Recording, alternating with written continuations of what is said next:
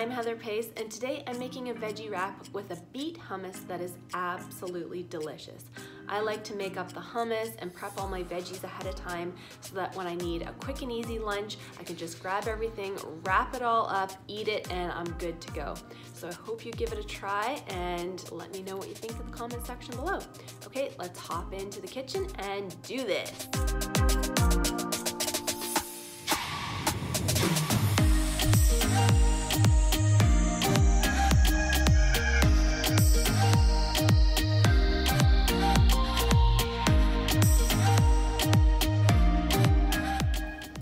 Out this color.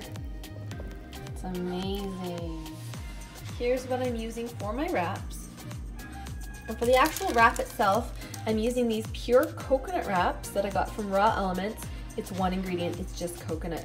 I've also got some avocado, cucumber, romaine lettuce, you can use any greens of your choice, some roasted yams, so good, some cooked cauliflower, and of course, my beet hummus.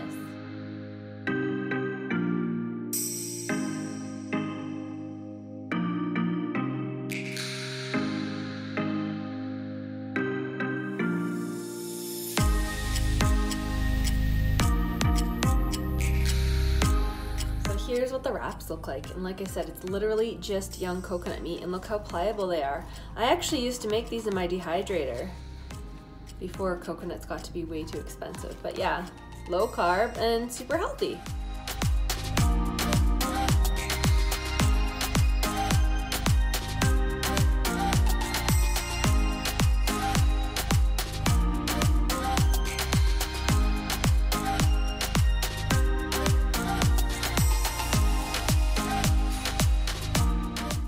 I'm not even sure if I have room for cauliflower.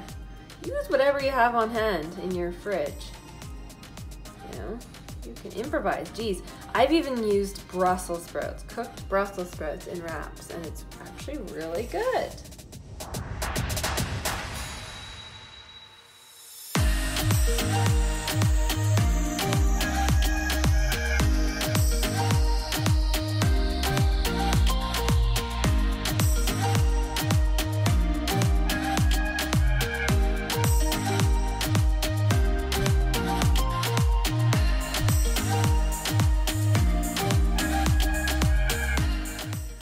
Think they look pretty good. What do you think? Look at that. At least, if nothing else, make the beet hummus. It is just so yummy. Okay, it's lunchtime for me. I'm gonna dig into one of these. One of these bad boys. Mm, mm, mm, oh yeah. See that?